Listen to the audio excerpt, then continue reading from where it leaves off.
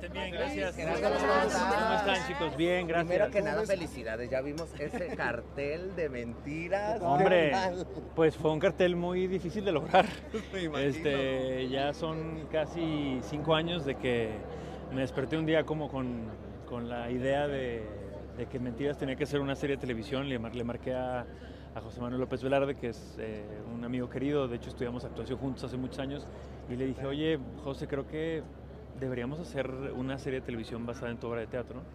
Este, y pues nada, eso fue hace cinco años, ha sido un desarrollo muy largo. Este, generalmente esas son las cosas de las que la gente no se entera, ¿no? Como los proyectos tardan cinco, seis, siete, ocho años en levantarse y particularmente un proyecto como tan ambicioso eh, eh, como Mentiras, ¿no? Eh, Este, fue un, un proceso muy largo de poder armar el equipo creativo, este, escribir los guiones, pero sobre todo el elenco que era como muy importante.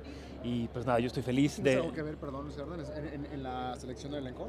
Pues eh, mi casa productora es la que produce el- el- la, tele- la serie de televisión, eh, se llama Cine Vaquero, la fundamos en la pandemia este, y es la primera serie de televisión que hacemos con, con Cine ¿Cómo Vaquero.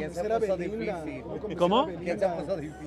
Nadie, la verdad es que las cuatro estaban muy emocionadas, pero pues, era, era como complicado cuadrar las agendas, ¿no? Este, organizar los tiempos, pero muy emocionado de que las cuatro se hayan sumado, muy emocionado de poder trabajar otra vez con Mariana Treviño, que no trabajamos juntos desde Club de Cuervos, ¿no? Y que además re- regrese a repetir este personaje icónico, que además fue la primera vez que yo la vi en el teatro, fue haciendo mentiras y de ahí la jalé para Club de Cuervos, entonces como muy emocion- emocionado de poder trabajar con ella, con Belinda, con Regina, con Diana, entonces creo que es un caso muy sólido. alguna ¿Ya se filmó- condición? ¿Ya se filmó las- la- la- o apenas están... Estamos, estamos empezando, estamos empezando. Oye, ¿cómo va a ser? Porque te- hay muchas dudas con respecto que la- ellos va- se van a cantar las canciones, obviamente, eh, los propios protagonistas, o va a haber otra interacción. No, claro, distinta? pues es un musical, tenemos que cantar.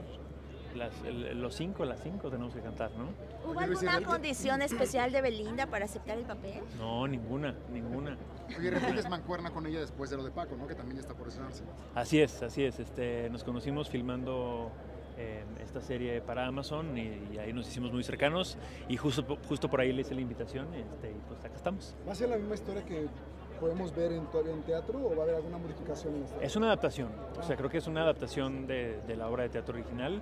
Tiene, te diría que tiene el 85% de lo que conocen en la historia, pero, pero sin duda hay que adaptar estos proyectos para que sean frescos, más interesantes y para ofrecerles sobre todo algo nuevo a la gente. ¿no? Oye, ¿en qué te ¿Cómo te preparas Emanuel? en ese qué caso? te pareces tú, Emanuel? Porque no- En nada, en nada. Ya me voy, muchachos. Que estén bien, gracias. Gracias.